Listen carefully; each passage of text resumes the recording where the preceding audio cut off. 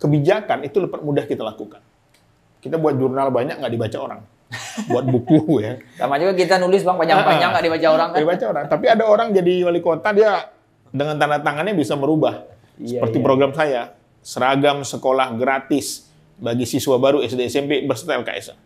Bisa membantu 3.500 siswa. Iya, iya. Nah, kalau di, di kalau- sampai di Bandara Internasional Minangkabau, semua orang kenal. Chef Iqbal, Jubir Anis, Iya, iya, Jubir iya, Anis, iya, ya kan? Uh, saya dalam hati saya, Pilpres masih hangat kan? oh masih hangat, Iya, baru iya, lagi iya. ngitung-ngitung suara kan? Iya. Wah, saya bilang boleh juga dalam hati saya ya. Iya, iya. Udah seribu titik abang bergerak di Kota Padang. Kan abang bisa lihat psikologisnya masyarakat kita, Iya. masyarakat Kota Padang ini. Kira-kira mereka tuh maunya apa sih di Kota Padang? Ya, dalam teorinya jelas, tawuran itu ada korelasi dengan perceraian yang tinggi, Iya. pengguna narkoba yang tinggi, termasuk pengangguran yang tinggi.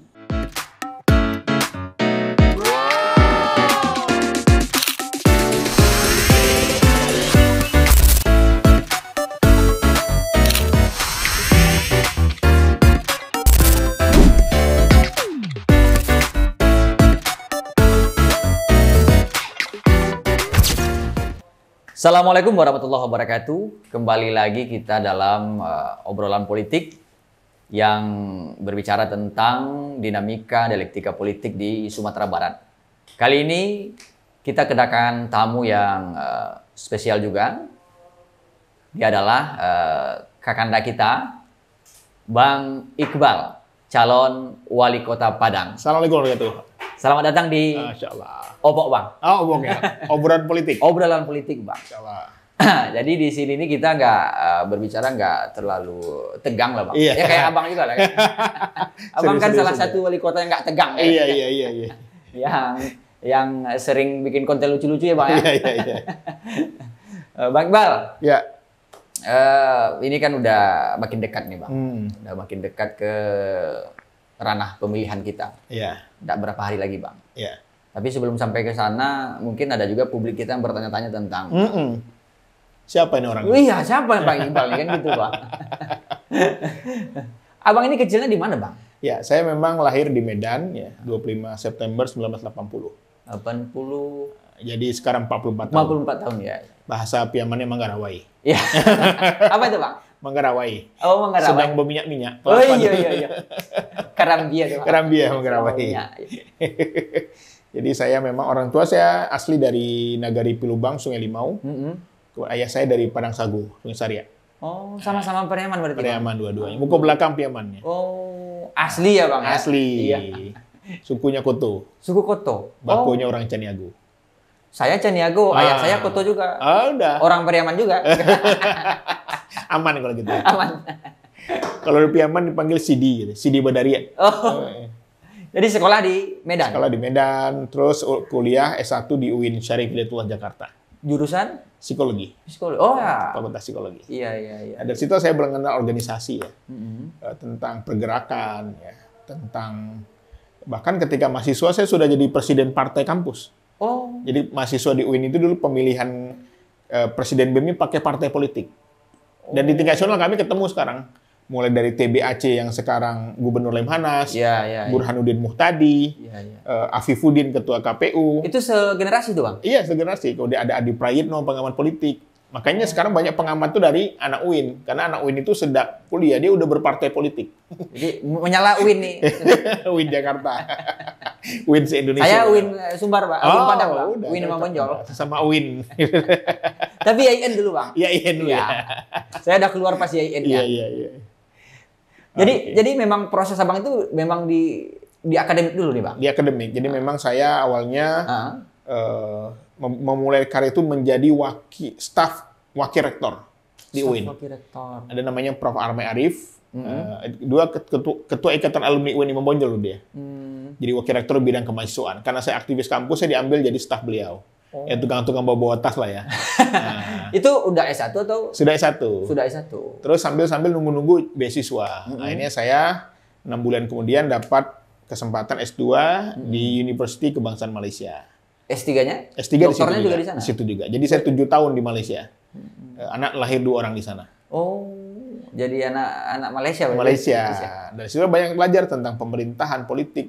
Bahkan sempat juga bekerja di kedutaan ya.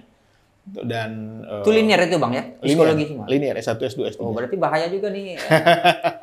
bahaya juga nih calon wali kota kita orang psikologi nih. Dan Jadi di ngerti Malaysia, ya. di Malaysia itu memang kita juga aktivis juga. Kita Ketua Umum Persatuan Pelajar Indonesia se-Malaysia. Se-Malaysia. Nah, jadi eh, sudah biasa ngurusin masyarakat lah. Ya. Itu udah ngajar juga tuh bang pas ngampus di Iya, jadi asisten profesor di sana. jadi asisten profesor. Nah, kemudian 2011 saya dapat beasiswa di Asia Research Institute di National University of Singapore. Hmm. Di situ saya eh, mau bermukim di Singapura, kemudian pulang ke Indonesia 2011. Hmm. Di situ saya berkarir berawal menjadi tenaga ahli di Kementerian Perencanaan Pembangunan Nasional. Direktorat Pendidikan dan Langsung melenting lah bang ya. Ah, jadi Korea juga bang kayaknya ini. di Bapenas kan.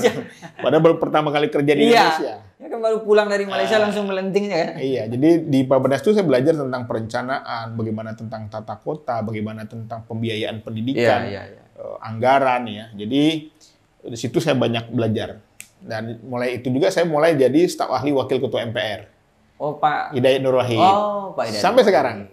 Tiga Itu udah jadi kader PKS ya bang? Sudah. Oh sudah. Kita dari kader PKS sejak SMA. Oh udah. Berarti udah dari lahir batin ya bang ya? Iya, dari deklarasi PKS deklarasi di Medan itu saya hadir mewakili siswa, mahasiswa, siswa, Oh iya iya iya. pakai baju seragam, menyaksikan deklarasi. Iya iya. Di situ memang terinspirasi banyak para senior senior ya. Kemudian eh, di samping jadi tenaga ahli wakil ketua MPR, saya juga mau mulai karir di kampus. Awalnya saya di Paramadina, Abang dosen ya bang ya? dosen. Dosen. Awalnya saya dosen di Paramadina, Universitas Paramadina. Waktu itu Pak Anies rektornya, saya jadi stafnya. Oh abang staffnya Pak Anies? Ah, ah. Tapi karena dapat tawaran di tempat lain, saya pindah ke Universitas Mercu Buana. Jadi ketua jurusan selama empat tahun, Mm-mm. terus kemudian terpilih menjadi dekan selama lima tahun. Berarti masih umur-umur belum 30 waktu itu Oh ya? belum, 30 pas. Pas 30 Dokter ya. Pas ya? 30, awal sedikit. Jadi saya ketua jurusan sampai jadi dekan di Universitas Mercu Buana. Nah, 2021 saya kembali ke Universitas Paramadina. Jadi sekarang saya dosen tetapnya di Pasca Sarjana di Universitas Paramadina. Tapi abang kabarnya pernah dekan juga ya? Iya, di Universitas Mercu Eh, berapa tahun tuh bang? Lima tahun. Lima tahun dekan. Nah, jadi kemudian sekarang saya juga setelah dosen tetap di Paramadina, saya dapat tawaran juga jadi rektor di, di Swadaya Institute namanya, Institut Bisnis dan Komunikasi Swadaya. Jadi saya dipinjam misalnya, Oh iya. pakai iya, izin iya. kampus. Jadi saya dapat eh, apa namanya kesempatan untuk menjadi rektor di, karena pernah jadi ketua jurusan, jadi dekan jadi rektor. Artinya karir saya selama sebagai akademisi sudah selesai. Udah sampai lah bang ya. Ah, sampai ah. rektor kan udah selesai. Sekarang eh, fungsionalnya sudah lektor kepala, tinggal nunggu satu jurnal lagi, insya Allah guru besar Oh. di bidang psikologi. Jadi akademisi. Akademisi ya bang. ya? Iya. Nah, kenapa nih bang? Rata-rata kan akademisi itu kan ngejarnya jadi profesor aja kan gitu Iya, bang. iya. Kalau udah ada di profesor kan Iya. bayarannya eh, honornya per oh, sekian udah jelasin itu bang. Iya, iya, iya. Kenapa bang melangkah ke politik ini? Apa cerita awal mulanya nih bang? Ya banyak hal ya, karena memang darah kita darah politik ya. Orang tua? Orang tua Ada. ASN, ASN Oh, biasa. dua-duanya. Enggak, ibu saya eh, mengelola rumah makan dulu, Oh, pedagang lah ya. pedagang. Jadi ada ada hal yang menginspirasi saya tentang eh, para politisi ini. Hmm. Di satu sisi positif, di satu sisi negatif ya. Iya, iya. Kebijakan itu lebih mudah kita lakukan. Kita buat jurnal banyak nggak dibaca orang. Buat buku ya. Sama juga kita nulis bang panjang-panjang nggak dibaca orang kan? Dibaca orang. Tapi ada orang jadi wali kota dia dengan tanda tangannya bisa merubah. Iya, Seperti iya. program saya, seragam sekolah gratis bagi siswa baru SD SMP berserta LKS. Bisa membantu 3.500 siswa. Iya, iya. Itu luar biasa. Azas manfaatnya lebih. Betul. BPJS menunggak dibayar pemerintah. Itu kan luar biasa. Siapa saja warga Kota Padang cukup bawa KTP. Menunggak, lunas. Atau memang karena abang udah terbiasa juga jadi stafnya eh, Buya Hidayat Nur Wahid. Iya. Iya. Juga memang Itu mentor politik saya. Mentor politiknya. mentor politik. Karena saya kebetulan membantu beliau banyak urusan-urusan luar negeri sebenarnya. Jadi kalau ada dubes-dubes datang, saya dampingi, Hmm. Iya, iya, iya. menghubungi beliau mau ketemu siapa, kemudian juga sebagai pembuat naskah pidato. Ya. Jadi memang sudah punya pengalaman 10 tahun mendampingi beliau. Saya saya melihat abang ini di televisi dulu bang. Iya. Saya melihat abang di televisi dan dan abang salah satu jubir PKS yang vokal juga. waktu itu. Iya. Dan saya memang, Yang sangat eh, vokal membela Anies waktu itu. jadi saya jubir pertama itu jubir Prabowo justru. oh jubir Prabowo. Prabowo Sandi 2019. Oh. Dapat perintah, Dr. Iqbal jadi jubir Prabowo. Waktu itu saya masih dekan. Oh, masih dekan waktu itu, Nah, Bang. dan kita berjuang ya sama Daniel Azhar Simanjunta, Andi Rosiade kita bareng-bareng dulu sebenarnya. Iya, iya. Terus 2024 dapat tugas lagi jadi jubirnya Anies. Nah, saya melihat di situ ada kekosongan sebagai penyerang.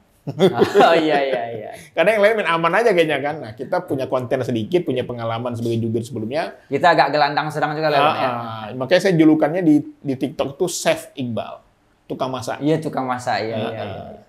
Tukang gelandang itu, Bang. gelandang. Iya, Ya, atas jadi- bawah lah namanya, Bang. atas bawah. jadi politik ini bukan baru. Iya, iya. Makanya kalau Kan hari dari SMA Abang udah jadi kader PKS. Iya, makanya kalau kita hari ini eh, nyalon di Kota Padang, itu punya cerita khusus loh.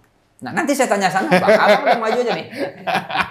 Kita berbicara tokoh nih. Abang kan tokoh nasional ini, Bang. Iya. Eh, abang udah udah pernah di tenaga ahli Bapenas. Iya. Artinya soal rancang merancang tata kota ini Betul. udah beres lah Betul. persoalan itu. Nah, publik juga ingin bertanya nih, Bang. Mm-mm. Sekelas Muhammad Iqbal Mm-mm. yang temannya dekat Anies ya? Iya. Abang salah satu yang dekat juga dengan Anies ya, Bang? Iya. Mau nyalon Iya. dan pilihannya Kota Padang. Iya. Itu satu juta penduduk Kota Padang ini berapa lah kalau di Jawa kan gitu. Nah kenapa ini bang ceritanya? Bang Iqbal pulang kampung ini kenapa ceritanya? Ya memang dari dorongan Mas Anies juga ya. Ketika saya bertemu dengan beliau, saya bilang, Mas Anies saya mau maju ke Kota Padang. Mantap. Bahkan beliau bilang waktu kalau ada kawannya juga yang Ah. nyalon, Mas Iqbal nyalon, saya dukung Mas Iqbal. Eh, ditepuk-tepuk. Eh, ada video saya itu ditepuk-tepuk. Pokoknya Mas Iqbal saya dukung. Kemudian eh, ada masalah keger, ke apa ya kegregetan lah ya. Gelisah lah bang. ya. Iya, karena saya lihat beberapa kali menemui kepala daerah, bertemu dengan kepala daerah, kok saya kok orang kayak gini bisa gitu loh. Kenapa saya enggak kan gitu loh. Kita dari kecil tuh dilatih untuk kenapa kalau orang lain bisa, kenapa kita enggak gitu. Iya, iya. Pak Jokowi bisa, Effortnya lebih dari kecil. Gibran bisa gitu kan, kenapa saya enggak kan gitu. Maka saya punya semacam eh, ya ingin membuktikan juga bahwa sebenarnya semua orang itu punya hak untuk maju. Iya betul betul. Ya, ditambah lagi ada cerita khusus. Jadi satu hari saya diundang ngisi acara di Medan, jadi narasumber di sebuah sekolah. Ya. Eh, saya biasa kalau saya pulang ke Medan itu saya ajak orang tua saya nginap di hotel, nyenengin lah. Iya iya iya. Nah, ketika pagi ngobrol-ngobrol habis sarapan, ayah saya bilang, "E, malam ini di kampungnya di Batu Kalang, di Padang Sagu itu akan ada mendoa, menyambut bersama. Ramadan, Menyambut Ramadan. Ramadan. Iya iya iya. Tadi ditelepon katanya sama adiknya. Lalu saya iseng untuk itu. Ah, Berangkat kita sekarang. Ke Pariaman. Ke Pariaman, Dari Medan tuh. dari Medan. Seniat itu ya bang ya? Ini serius nih. Iya, ayo. Ya, berangkat, Bu. Saya bilang. Kami nggak punya perang, saya langsung ke bandara. Ngambil baju sebentar ke rumah, langsung ke bandara. Jam 7 mikir, jam 9 berangkat. Setengah 10, jam 10-an lah. Nah, Kalau di- di- kalau- sampai di bandara Internasional Minangkabau, semua orang kenal. Chef Iqbal, Jubir Anis, Iya, iya, Jubir iya, Anis, iya, ya kan? Uh, saya dalam hati saya, Pilpres masih hangat kan? oh masih hangat, Iya, baru iya, lagi iya. ngitung-ngitung suara kan? Iya. Wah, saya bilang boleh juga dalam hati saya ya. Iya iya. Pergi kami ke Lembak ke Bukit Tinggi, saya ajak orang tua saya keliling ketemu keluarganya. Chef Iqbal ya. Wah, Chef Iqbal ya kan, lagi famous-famousnya kan. Iya iya iya. Nggak iya nih saya bilang. Tapi saya nggak berani ngungkapin kan di PKS kan nggak boleh minta-minta kan. Nanti Jumawa pula kayaknya. Iya. Nah pas pulang, Iya. berapa hari kemudian tiba-tiba Buya ngundang saya juga ceramah di hadapan eh, ribuan siswa SMA pembukaan pesantren Ramadan. Hmm, hmm, hmm. Di hadapan tokoh-tokoh ada Buya Gurzizal, ada Pak Fauzi Bahar kan. Iya. yang ceramah saya. Saya nggak tahu maksud Buya apa nih gitu kan. Tapi saya nggak ada pikiran ke sana waktu itu. Ceramah aja saya sebagai motivator lah ya. Iya betul. Pas pulang, kebetulan ada namanya Pak Gusnal, Om Gusnal. Dia ini pengusaha dari eh, apa namanya Kompasindo, Koperasi Pedagang Pasar seluruh Indonesia. Orang-orang Minang perantau lah, ketemu Presiden PKS. Hmm. Saya dampingin kan, biasalah setiap Presiden PKS, saya staf khusus Presiden kan. Abang kan staf khususnya Pak- Saihu. Saihu juga kan? Iya. iya. iya. Begitu saya masuk, saya terlambat datang, saya pulang dari Padang. Ini jagoan kami katanya. Ini harus jadi nih katanya. Kata Bapak Pak Gusnal. tadi. Iya iya. iya. Jadi apa om? Saya bilang, apa kayak wali kota lah katanya kan. Serius nih saya bilang, "Eh, kata Pak Sehu. Udah, coba gas, cek di sana gimana katanya kan. Saya diam juga nggak enak kan. Itu itu bulan apa tuh bang? bulan-bulan Mei lah, sebelum Mei, ke April tuh Mei. Belum pasang baliho bang sini kan? Belum, belum ada. Makanya ketika saya cek ke Padang, dicek sama teman-teman. Teman-teman di Padang sedang mencari juga, karena rata-rata udah jadi semua kan. Iya, iya, iya. Pak Muharlian udah jadi, Pak Muhidi udah jadi, harusnya beliau-beliau dua ini yang layak menurut saya. Iya, iya. Nah, dan ini akhirnya kita tes, pasang billboard. Billboard. Jubir Amin siap pulang ke Padang. Tinggi surveinya.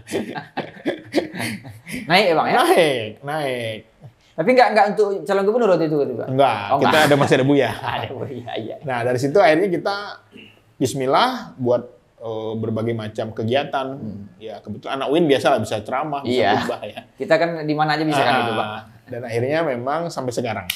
Jadi memang perjuangan panjang sampai dapat SK, sampai di deklarasi. Kenapa Padang? Abang kan apa, nih? eh, lahir batinnya kan Pariaman ini. Kenapa pilih Padang? Ya Pariaman itu menurut saya Kan lebih Ada ajo di nih. Padang. Ajo, ajo pulang kampung kan karena lebih- Padang itu dulu Pariaman. Oh iya iya iya. iya. Jadi nggak salah orang Pariaman ini maju di Padang. Gitu. Iya iya iya. Mana ada orang Padang asli? Iya iya. Jadi semua penduduk Padang ini ya pendatang. Jadi kalau menetapkan tanah kelahiran lah, apalah, ya, itu basi lah itu. Sesungguhnya orang Padang ini perantau semua, di perantau semua. Alasan pertama PKS milih Abang itu menunjuk Abang untuk di Padang itu apa? Ya karena surveinya bagus. Oh survei. Karena dulu kita majuin coba Reza Falepi di Bayakumbu, ada Pak Buya Meheldi di awal-awal, surveinya nggak setinggi itu katanya. Hmm. Jadi mereka optimis nih kalau Dr. Iqbal di pasti melejit gitu loh, kira-kira begitu. Berarti setelah eh, apalah proses-proses dilewati, Iya. Apa yang paling eh, agak rumitnya tuh Bang? Pas Ya. menentukan eh, kepastian Abang maju itu. Ya memang terus terang ya, apa yang dalam politik Artinya itu kan Abang perantau yang pulang kampung ini. betul, dan tetapi dan penilaian saya sebagai jurnalis tentu nggak sekonyong-konyongnya langsung diterima kan gitu enggak, kan. enggak sebenarnya. Se sebintang apa pun abang di Betul. Jakarta, Ya, ketika abang pulang kampung tetap Betul. juga akan ada matahari-matahari kan Betul. gitu Ya kan kita kan sebelum ibaratnya cek ombak dulu ya. Iya iya. iya. Makanya ada pantunnya itu. Kalau takut dengan ombak, jangan berumah di tepi pantai. Oh iya. Politik ini memang susah ditebak. Kita hadapi dengan santai. iya iya. Ya memang kita soan ke Bang Karni Ilyas saya soan ketika ILC kan Bang saya maju. Iya. Oh iya bagus. Itu orang Padang itu bang. Iya.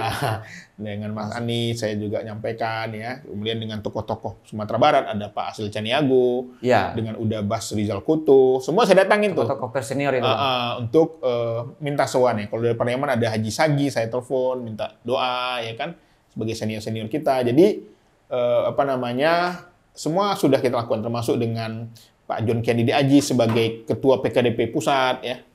Jadi uh, Buya Refrizal semua sudah kita uh, sampaikan termasuk dengan sahabat-sahabat saya uh, Yulian Ray Darwis kita juga sering komunikasi kan. Bro gimana sesama orang Pariaman kan. Jadi ini uh, apa Oke. namanya Mantan ketua KI bang ya. Iya. Jadi kita sudah cek ombak kayaknya positif nih. Positif dan memang peluangnya ada. Ditambah endorse Buya Mayeldi yang semangat sekali, ya kan? Udah, Iqbal Ahmasrul. Nah, ini dia. Tapi kemarin sempat eh, netizen sempat bilang abang takut katanya kan eh, baru-baru kampanye awal-awal dulu Nah, Bang takut, Bang Iqbal tuh takut eh, nggak ber- nggak nggak didukung Mayeldi, makanya dipasang balionya sama sama Mayeldi gitu. ya justru itu strategi. justru kita strategi karena Buya Mayeldi surveinya tinggi sekali. Tinggi Iya, sekali. tinggi sekali. Mm-mm. Maka endorsement seorang Buya itu penting. Ya, jadi memang eh, bukan takut, bukan nggak percaya diri, itu udah ada teorinya bahwa kemenangan itu banyak faktor. Iyalah. ada popularitas, ada endorsement seperti Iya. Prabowo dan Jokowi gitu Iya. kan terbukti. Itu terbukti. Jadi bukan takut, bukan nggak pede, justru itu strategi. Bang, abang kan eh, politik politikus nasional ini. Iya. Artinya mapping wilayah abang tuh tidak berbicara daerah, kota, kabupaten. Iya. Abang udah berbicara provinsi dan dan Iya. sebagainya. Apa sih yang uniknya di Padang nih Bang sekarang? Iya, Karena saya Bang ma- ma- masuk gelanggang ini. Masuk Iya. gelanggang kampung lagi. A- Apa uniknya Padang? ya sebelum saya bahas itu saya terinspirasi juga nasihat dari Pak Azwar Anas ya Menteri Pan RB yang pernah jadi Iya. Bupati Banyuwangi. Dia bilang ya memang anak muda itu katanya kalau mau maju harus turun ke kampung. Bangun kampung, buktikan bahwa kita bisa baru kita balik ke nasional. Ditambah lagi waktu ke Ustaz Somad, dia kasih pantun. Ya, Oh ya saya lihat itu video, pergi Bang. berjalan ke Jakarta, jangan lupa membeli telur puyuh. Kalau anak muda hanya anak muda hanya tetap di Jakarta sama dengan naik Astrea 70. itu orang tua yang nyaman-nyaman itu orang tua katanya. Iya, Saya iya, nyaman iya. pantunnya. Harus ada tantangan terus. Oh, ya? tantangan. Makanya eh, di Padang ini uniknya memang pemilihnya cerdas. Tapi kecerdasan itu saya ada kekhawatiran. Apa itu di saat ekonomi lagi sulit? Saya melihat daya beli masyarakat sekarang rendah. Sangat. Ini punya potensi besar ketika terjadi money politik. Di situ saya kekhawatiran saya ya, walaupun saya nggak menuduh nih. Iya, iya. Karena ada terjadi, ada semacam, ada apanya, ada, ada peluangnya gitu loh. Ada situasi pengkondisiannya. Tapi saya yakin lah, eh, pemilih di Padang Padang ini rasional, cerdas, ya dan memang eh, dalam debat-debat teman-teman bisa lihat lah ya. Iya. siapa yang punya isi, ada kontennya, siapa yang hanya asal bunyi, ya kan? Yang punya gagasan Yang terukur punya lah. Gagasan. Makanya saya tuh menjawab, misalnya ada orang bilang, anggota DPR kan, pilihlah yang paling ngerti Padang, jangan yang nggak pernah tinggal di Padang ya kan.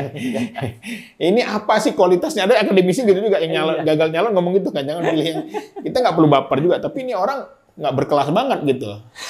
Dosen kok tugasnya mendowngrade orang gitu kan. Bicaranya etika gitu kan. Iya, tapi iya. tapi ya itulah itulah politik kan. Makanya Semua celah dimanfaatkan kan. Iya, gitu. makanya dalam politik itu satu adalah gentleman. Kalau kita udah kalah, gagal, Akui. gagal bersaing, siap saya mohon Akui maaf. kemenangan. Oh, nggak perlu kita jelek-jelekin orang. Iya, iya. Udah kayak kayak followernya banyak aja gitu kan mempengaruhi udah merasa besar gitu kan. Tapi itulah sindrom star syndrome tadi bahaya memang. Orang baru eh, jadi calon ya kan, banyak banyak yang ngikutin di belakang gitu Iya. kan. Itu star syndrome juga itu bahaya tuh memang. Tapi saya lihat di balik keceriaan Bang Iqbal itu, beban mental Abang juga ada nih di Padang ini. Pertama, PKS itu pemenang pemilu loh Bang. Mm-mm. PKS itu pemenang pemilu dan sekarang ketuanya Pak Muhalion, ketua Betul. DPRD Pak Muhalion. Iya. Artinya kita tarik ke 15 tahun ke belakang. Hmm. Buya Mayeldi wakilnya Pak Fauzi Bahar artinya ada andil Iya. PKS juga menang kemenangan Fauzi Bahar di sana. Iya. Kemudian di dua periode Buya Mayeldi menang. Iya. Artinya memang ada di pundak Bang Iqbal nih sekarang ini. Beban mental gimana Bang menghadapi situasi seperti ini Bang? Ya justru ini jadi salah satu pemecut motivasi ya. Bagaimana kita bisa kerja lebih keras lagi, masih ada waktu.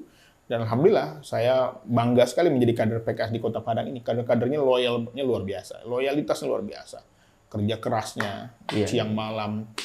Eh, Dan mereka tidak mengharapkan imbalan. Ini luar biasa ini. Kalau mungkin orang lain, yang calon lain mungkin dibayar, dikumpulin di hotel, kasih duit ya kan. Karena kalau sudah main duit dibuka, pasti mereka kalau nggak dikasih nggak akan kerja gitu. Nah, Ya, kita mana mau katanya mana Bang? kan? mau. Makanya bagi teman-teman yang sudah menerima ya nggak apa-apa, tapi eh, pasti akan ada semacam kayak diperintah terus kan, Iya. bukan karena kesadaran. Ya, makanya hari ini kita ingin mengedukasi masyarakat. Tapi menarik juga sih dari antara eh, apa namanya Abang tidak ada saya lihat tadi profilnya tidak ada rekap orang kaya juga kayak. Iya, ada orang kaya, orang susah aja.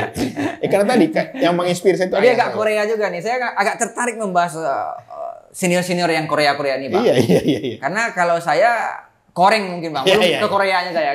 Nggak, yang menginspirasi, menginspirasi itu orang tua ya. Karena ayah saya itu kan eh, pergi ke Medan itu lulus SMP. Oh, Apa yang dilakukan? Tukang cuci becak pertama kali. Tukang cuci sambil sekolah SMA nih. Terus jadi tukang cuci becak, jadi tukang becak Oh. sampai lulus SMA. Setelah lulus SMA, aku ingin kuliah, tapi sampai jadi fotografer. Orang tua Ayah saya. Bang Iqbal. Iya, Marjuan Caniago namanya. Saya Caniago nih, Bang. Ah, terus setelah kuliah jadi fotografer fotografer keliling kan. Terus masuk jadi honorer bertahun-tahun, 5 sampai 10 tahun, 5 tahun nggak salah. Sampai punya anak tiga baru udah di ASN. Jadi perjuangan itu menginspirasi saya kalau ayah saya aja yang dari merangkak bisa apalagi saya yang sudah S3 gitu kan. Iya. Terus saja akan lebih baik eh, ke depannya. Jadi memang eh, ketika sekolah kita itu banyak menderitanya. Cuci piring, jadi supir, tukang jualan di pasar malam. Semua kita lakukan. Bang Iqbal ikut. Iya. Kita Abang jadi- anak berapa sih, Bang? saya anak kedua. Anak kedua. Abang saya SN, adik saya SN. Eh, Empat bersaudara. Kenapa nggak mau jadi ASN, Bang? Dokter. Iya, saya kira kalau saya jadi ASN saya pasti mungkin sering ribut sama atasan ya. Karena kita punya idealisme. iya, iya, iya. Karena kita eh, free man, kita suka kebebasan kan, apa namanya? Ya kita ingin mencari uang itu sesuai dengan passion kita. Gitu. Iya. Passion saya adalah di motivasi, motivator gitu loh. Sebagai orang psikolog, Hmm. yang abang lihat saya mungkin aja abang tahu gimana karakter saya kayak gitu kan.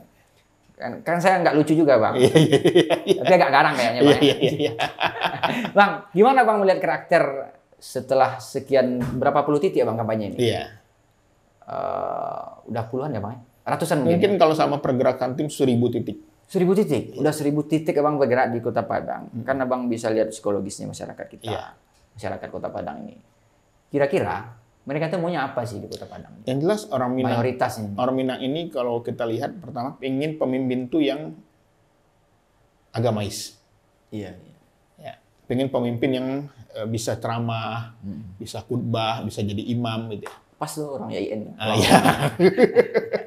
takah tadi kan. Iya Ah, Takah, tageh, tokoh kan. Iya. Tokenya juga bang. Ah, toge terakhir. Tapi baru-baru ini toge. Kemudian yang kedua postur. Iya. Posturnya diuntungkan juga. Mereka melihat pemimpin itu yang eh, bedagok lah ya. Nggak mungkin saya berbicara hidup sehat kan Iya, iya, iya, iya. Postur penting pengaruh. loh. Iya, iya. Eh, bukan soal fisiknya, tapi tadi ya, apa tegak, percaya diri itu juga dinilai oleh orang Minang ini. Jadi kalau saya isi acara, gimana Bu? Ada takah-takahnya. Bu? Oh takah, katanya. nah, kemudian eh, orang Minang ini suka yang intelek, Iya betul. cerdas. Ya, bukan mengandalkan orang tua, bukan mengandalkan siapa-siapa gitu. Karena pengalaman orang Minang banyak dari hidup dari perjuangan kan. Iya. Nah, makanya eh, pemilih di Sumatera Barat itu juga sangat dipengaruhi oleh perantau. Iya. Karena memang prinsip Minangkabau kita kan egaliter nih bang. Iya. Jadi pemimpin itu didahulukan selangkah, ditinggikan seranting. Kan gitu. Bang. Jangan bangga, jangan apa Jangan, ya kalau salah dia langsung diginikan gitu. Iya, selangkah aja deh. Ya, kalau larinya terlalu cepat ditungkai gitu. Iya, makanya kan isu-isu yang dilemparkan lawan-lawan kan sekarang, oh Iqbal tuh bukan orang Minang, dia orang oh, Medan, dia orang Batak, nggak bisa bahasa Minang ya kan. Awak lagu Jasumandi pun bisa. Tapi kadang nggak ada isu lagi mau, mau nyerang apa lagi kan? ya, udah udah kehabisan uh, referensi, Bang. Iya, makanya kemarin ada yang nanya nama-nama pasar waktu debat kemarin. Dibilangnya enggak keliling ya, Pak. ya, iya, iya, iya, iya. Jadi memang ya menarik lah. Menarik. Apa sih, Bang, yang Abang mau seandainya uh, amanah itu ada di Iya.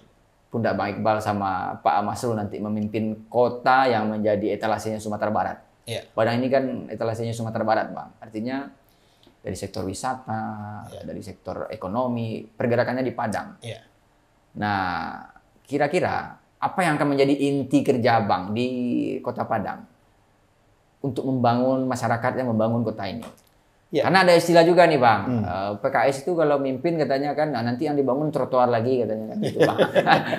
nah ini, tapi melihat sosok Abang ini agak agak agak lain kalau anak Medan bilang gitu Bang, Abang agak lain ya. Jadi sebenarnya kan kota Padang ini heterogen ya. Iya. Semua orang bagi suku. Makanya beberapa calon-calon daerah sebelumnya yang menjual isu identitas nggak laku. Nggak laku. Sulit. Sulit. Karena apa? Karena orang Jawa banyak, orang Mandailing banyak, ya orang Sunda banyak. Majemuk gitu ya. lagi. Majemuk, pendatang banyak gitu ya. Makanya saya melihat satu, saya ingin memperjuangkan keadilan di Kota Padang ini. Terjadi ketimpangan yang tinggi antara satu daerah dengan daerah yang lain. Kita pergi ke Bungus Tulok Kabung, tertinggal. Pergi ke daerah istilah mereka sebut Papiko ya. Padang pinggir kota. Iya, harusnya itu nggak ada istilah-istilah itu. Padang ya Padang. Tapi yang terjadi memang faktanya pembangunannya nggak merata. Nah, saya ingin keadilan itu terwujud di masyarakat. Masyarakat Minang yang eh, kota Padang yang ada di pelosok-pelosok, selagi dia masih di kota Padang, dia harus mendapatkan keadilan dalam hak-haknya. Iya. Yang kedua, hari ini kondisi masyarakat lagi susah. Ya, ekonominya terganggu semenjak COVID. Sebelum COVID kita pernah 7% pertumbuhannya. Iya. Sekarang hanya 4 sampai Hancur-hancuran hancur-hancuran. Jadi kota ini seperti tidak tumbuh. Ya, stuck dia. Iya. Itu perlu ide-ide kreatif. Perlu kreasi baru, perlu jalan-jalan berani untuk memajukan kota ini. Nggak perlu retorika panjang-panjang. Nggak perlu retorika panjang-panjang. Makanya perlu kolaborasi. Ini kata hub, hub city kan, kota Iya, yang iya. antar on. Apalagi nanti Citan Jelawi jadi, tol Padang Pekanbaru jadi. Iya. Itu akan membuat kota Padang ini ber- berlimpah ruas seperti Bandung nanti. Iya betul. Nanti besok-besok orang Padang ngapain lah orang eh, ini Rame-rame ke sini, Ah, gitu. iya. Jadi memang eh, kota Padang ini menjadi hub city. Yang kedua adalah eh, kita bicara tentang kejayaan kota Padang dahulu. Apa itu dua hal? Pendidikan dan perdagangan. Sekarang Dulu orang berbondong-bondong menyekolahkan dari SMA itu ke Padang, dari SMP, pesantren-pesantren. Sekarang sudah berkurang semenjak isu gempa.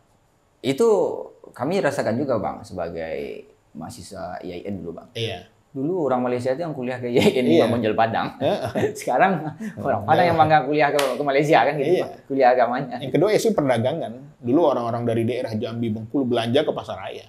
Sekarang perginya ke Bukit Tinggi. Iya. Karena bisa sambil wisata, nyaman. Gitu loh. Nah ini pun harus diciptakan. Makanya sekarang hari ini fenomena kota Padang banyaknya pengangguran, banjirnya di mana-mana.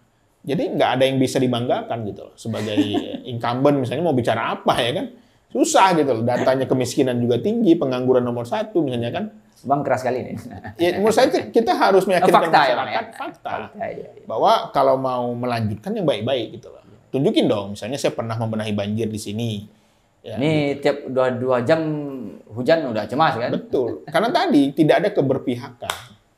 Anggaran ke politik anggaran ya. Iya betul betul. Ya contoh sekarang ya kita untuk anak muda bagus kita buat eh, skateboard ya, kita buat youth center gitu ya misalnya kan itu bagus kita akan perbanyak ke depan. Tapi juga besarannya jangan timpang dengan kebutuhan masyarakat, bawah. Masyarakat yang akan merasakan dampak dari kebijakan politik itu kan masyarakat kita. Betul. Amak-amak kita. Betul. Anak-anak kita kan seperti itu. Ya kan kemarin kita bahas di debat Pak Masul bilang untuk membangun untuk membangun covernya youth center itu 21 miliar coba. Ayat kita susah. Jadi boleh bangun youth center tapi jangan sampai mahal, Iya. jangan sampai timpang dengan kebutuhan masyarakat. Sekarang yang terjadi kan di Kota Padang anak-anak sulit sekolah karena zonasi. Iya. Yang kedua seragamnya mahal, satu juta loh. Jadi kami menghitung kalau kami sediakan 3.500 siswa baru, Mm-mm. angkanya 35 miliar. Nggak banyak berarti. Nggak banyak, ya youth youth center 21 miliar. Iya iya. Itu kan bangun cover sampai Ini dirasakan semua anak kota Padang. Betul. Yang ketiga adalah banyak sekarang ibu-ibu, para pedagang kaki lima, UMKM itu terlilit rentenir.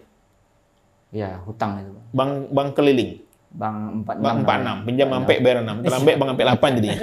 Terlambat bank sampai 10. Ini kan perlu kita selamatkan, makanya program kami, kami ingin nanti pemerintah kota mengakuisisi BPR atau koperasi syariah, siapa saja warga kota yang memerlukan modal mikro 10 juta ke Iya. bawah, nanti akan cukup mengembalikan modal aja. Itu solusi ekonomi tumbuh. Jadi kalau 35 miliar selamat di kantong orang tua, orang tua bisa belanja, daya beli meningkat.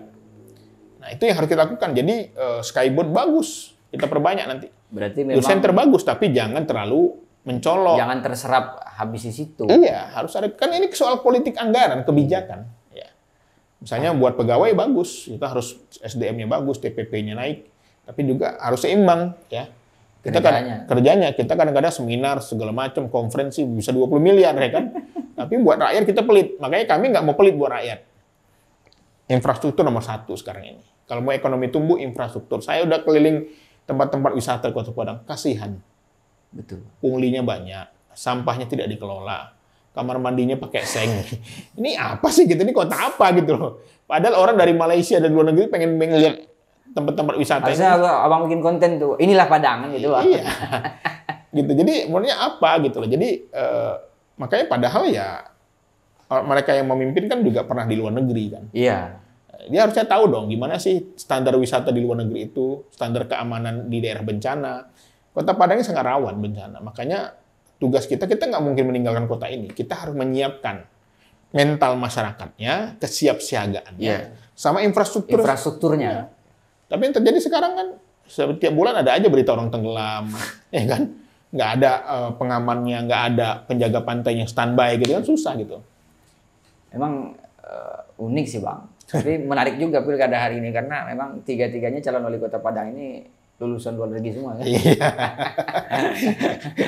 Artinya kita sebagai masyarakat kota Padang eh, tentu nanti menunggu juga hasil Hmm. dari gagasan-gagasan yang sudah disampaikan, eh, perdebatan-perdebatan yang sudah Betul. berlangsung. Jadi kayak kami ingin prioritas infrastruktur, Infrastruktur. termasuk pembangunan sumber daya manusia tadi. Saya ingin anak-anak Padang ini juga mendapatkan eh, layanan-layanan pendidikan. yang Tawuran ini bahaya sekali nih Pak. Betul. Tawuran ini udah menakutkan. Saya aja biasa pulang eh, jam 1, jam 2, sekarang udah takut kalau malam minggu. Ya dalam malam. teorinya jelas, tawuran itu ada korelasi dengan perceraian yang tinggi, Iya. pengguna narkoba yang tinggi, termasuk pengangguran yang tinggi. Nah ini harus ditambah lagi ruang-ruang publik yang harus banyak Iya, anak muda. betul. Makanya kemarin kami sama Buya San Mori, Sunday Morning Rise sama anak-anak muda Kota Iya, Padang, iya. naik Vespa ke Batu Busuk kan.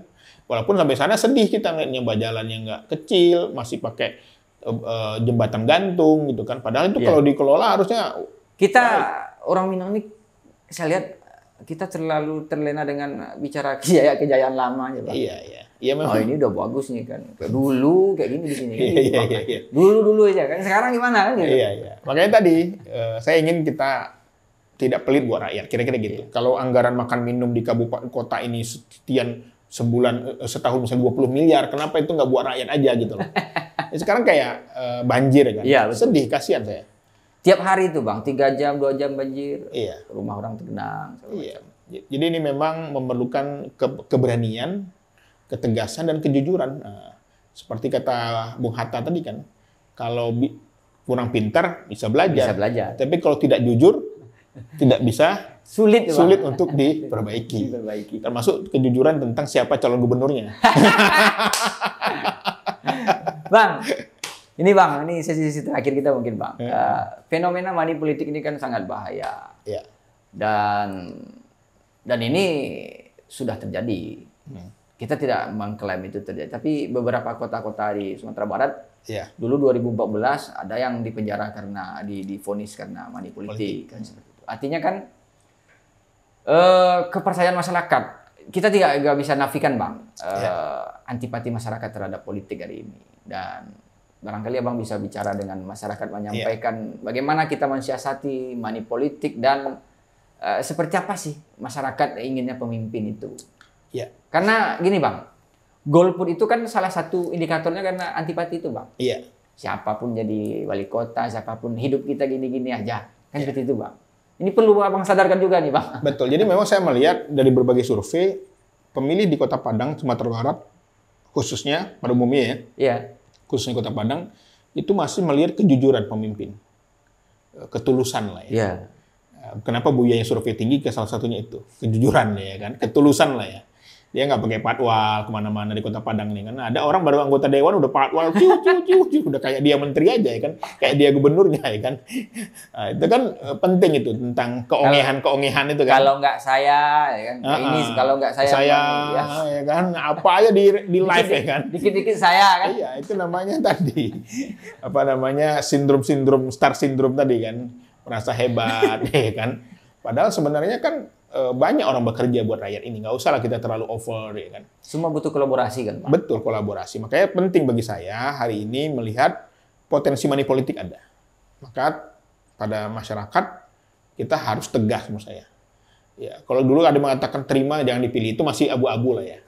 Tegas saja karena sekali kita dipi, dibayar itu harga diri kita rendah. Besok-besok kita telepon dia, Pak Wali, ini tempat saya banjir, Ibu ngapain ganggu saya? Kan sudah bayar di muka. Ah, gitu, Iya, gitu. iya, iya. Makanya iklan KPU bagus tuh. Kalau kita dibayar 500 ribu sebulan berapa per harinya gitu kan. Nah, sangat murah. Tapi kalau kita tidak punya memilih dengan keteguhan, keberanian, kejujuran, ketulusan, insya Allah kita akan lebih berani mengungkapkan, menyampaikan kritik-kritik itu. Tapi kalau abang jadi wali kota, abang berani nggak menghadapi demo-demo nanti langsung, misalnya kurang kebijakannya langsung di demo ke eh, rumah dinasnya, berani nggak abang keluar? Dulu kan kita tukang demo. Nggak biasanya bang, mantan-mantan tukang demo ini takut pada Iya, iya, demo bang. iya. kita coba lah nanti. Ya demo ini kan sebenarnya kan bagus ya, ada masukan. Asal tidak hoax saja kan. Nah, yang takutnya kan kita dibayar, di, di provokatori, ya kan. Tapi ya demo itu bagian dari demokrasi kan. Nggak perlu takut juga.